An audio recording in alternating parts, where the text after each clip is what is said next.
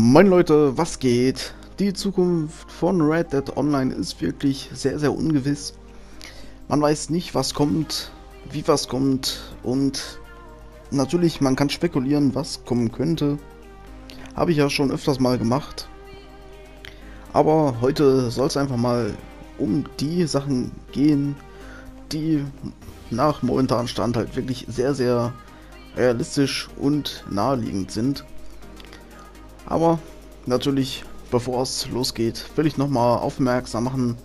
Auf mein Instagram findet ihr unten in der Videobeschreibung, könnt ihr dort gerne folgen und halt auch private Nachrichten schicken, wenn ihr irgendwas nicht versteht oder halt Fragen habt.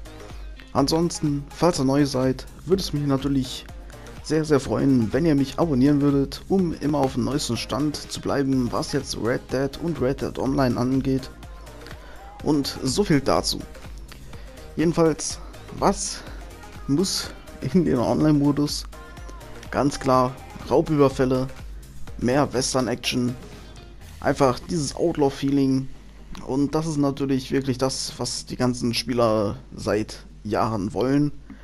Und bis jetzt ist es noch nicht im Online-Modus und ich denke mal, nach meinem Empfinden wird das auch erstmal nicht kommen. Was natürlich sehr, sehr naheliegend ist, ist, dass wir in den nächsten Monaten die Rollen Händler und Sammler als Erweiterung bekommen. Haben wir ja schon gesehen, dass es beim Kopfgeldjäger eingetroffen ist und ich persönlich denke halt wirklich, dass die anderen zwei Rollen, die halt die ersten waren, einfach weiter erweitert werden. Werden dann wahrscheinlich auch 15 Gold nochmal kosten und höchstwahrscheinlich dann auch wieder 10 Level beinhalten. Weil so ist es beim Kopfgeldjäger gewesen und warum soll es dann dort anders sein? Jedenfalls denke ich mal, dieses Jahr werden wir nichts Großartiges bekommen, außer halt wirklich die Erweiterung für den Händler und den Sammler um jeweils 10 Ränge für jeweils 15 Gold. Hat man ja, wie gesagt, beim Kopfgeldjäger gesehen. Und von daher ist es halt wirklich naheliegend, dass das bei diesen Rollen auch eintreten wird. Ansonsten kann ich mir gut vorstellen, dass die Telegram-Missionen auch weitergeführt werden in den nächsten Wochen ohne größere Updates. Und wir werden natürlich auch Outlaw-Pässe bekommen. Ganz klar. Natürlich, Outlaw Pass Nummer 5 ist ja schon geleakt worden. Gehe ich gleich nochmal ein bisschen drauf ein. Und natürlich wird es wahrscheinlich so sein, Outlaw Pass 5 wird dann wahrscheinlich recht lange gehen. Danach werden wir entweder eine Pause haben oder gleich den nächsten Outlaw Pass.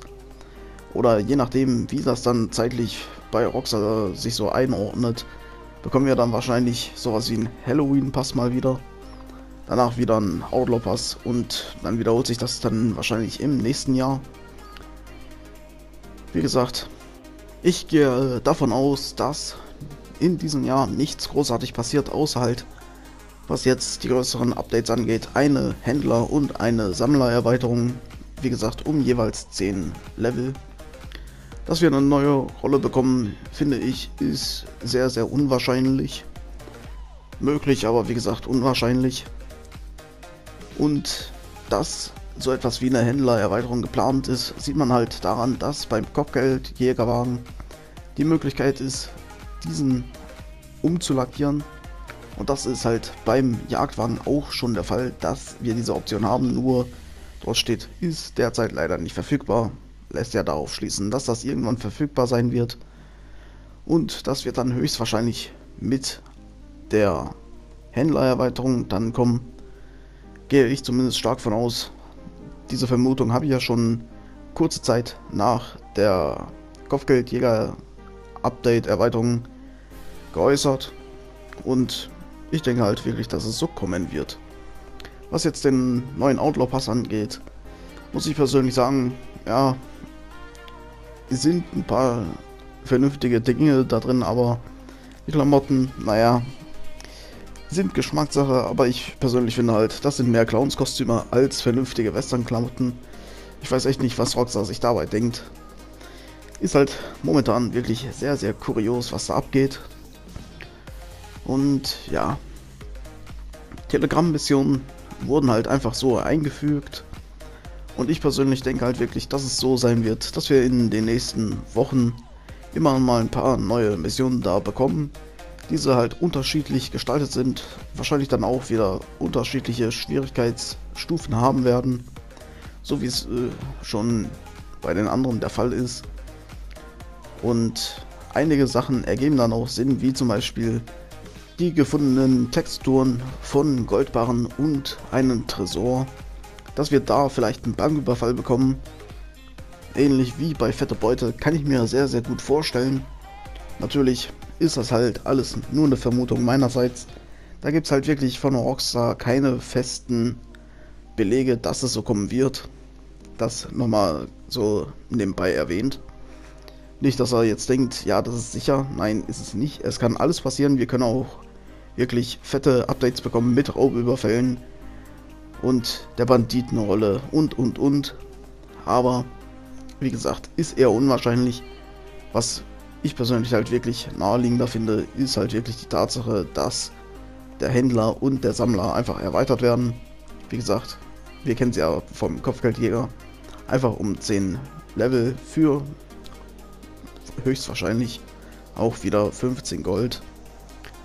Und das wird höchstwahrscheinlich größtenteils für dieses Jahr dann auch gewesen sein, dass wir dann halt im März beispielsweise eine Erweiterung bekommen für Händler und dann irgendwann nochmal so 3, 4, 5 Monate später nochmal eine Erweiterung für dann den Sammler und dann war es das auch. Kann ich mir halt wirklich sehr, sehr gut vorstellen, dass er dann auch nichts Großartiges mehr kommen wird. Aber wie gesagt, ist eine Vermutung meinerseits. Finde ich, ist naheliegender, als wie jetzt einfach zu sagen, jo, wir werden richtig schöne Raubüberfälle bekommen. Wir können so viele neue Sachen erleben. Wir bekommen eine eigene Farm, Immobilien. Ist ganz sicher, wird dieses Jahr kommen. Sowas werdet ihr von mir wahrscheinlich nie hören, dass ich da irgendwas erwähne und das halt als sicher abstempel. Und wie gesagt, Natürlich, es kann kommen, aber es ist halt wirklich sehr, sehr unwahrscheinlich. So viel dazu. Ansonsten hoffen natürlich sehr, sehr viele Spieler, dass Rockstar endlich mal die ganzen Bugs und Probleme behebt. Das ist wirklich mein Wunsch für den Verlauf des Jahres, dass Rockstar sich da mehr drum kümmert, dass halt die ganzen Bugs aus dem Spiel genommen werden oder zumindest, dass Rockstar sich so kümmert, dass halt weniger Bugs da sind und diese halt auch so gut wie gar nicht mehr auftreten, würde eigentlich schon vollkommen reichen. Und ich denke mal, ich bin da nicht der Einzige, viele von euch, die sind auch der Meinung, dass Rockstar da definitiv was ändern muss. Aber ist halt sehr, sehr naheliegend, dass wir halt wirklich nur Erweiterungen in diesem Jahr erwarten können für den Händler und den Sammler. Was es da allerdings dann für Special-Sachen geben könnte, da weiß ich echt nicht, was Rockstar da sich überlegt hat. Vielleicht irgendwelche Erweiterungen für beispielsweise den Händlerwagen, dass der dann halt statt 100, 200 Waren oder so transportieren könnte.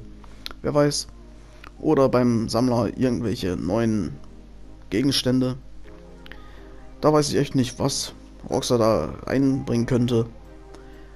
Auf jeden Fall bin ich gespannt, wie es dann aussehen wird im Verlaufe des Jahres. Was ist aber eure Meinung dazu? Was erwartet ihr? Was denkt ihr, was in diesem Jahr alles so kommt? Würde mich sehr, sehr interessieren. Könnt ihr gerne in die Kommentare schreiben. Weil, wie gesagt, so wie es momentan verläuft, denke ich halt wirklich, dass wir dieses Jahr nichts großartig erwarten können. Außer eine schöne Sammler- und eine Händlererweiterung um jeweils 10 Ränge. Kostet dann 15 Gold. Nebenbei gibt es dann wieder Telegram-Missionen. Und vielleicht irgendwelche kleinen Erneuerungen oder vielleicht eine neue Showdown-Modi. Aber wahrscheinlich nichts Bahnbrechendes. Natürlich wäre es richtig nice, wenn Rockstar uns einfach mal überraschen würde mit der Outlaw-Rolle oder sowas. Wäre definitiv cool. Aber wie gesagt, könnt dazu gerne eure Meinung abgeben in die Kommentare. Ich bin gespannt, was da alles bei rumkommt. Und im Großen und Ganzen soll es das auch mit dem Video gewesen sein. Ich wollte euch einfach mal mitteilen, was ich so denke, was wir dieses Jahr erwarten können. Und wie gesagt, das soll es auch mit dem Video gewesen sein. Ich bedanke mich wie immer fürs Zuschauen und ciao.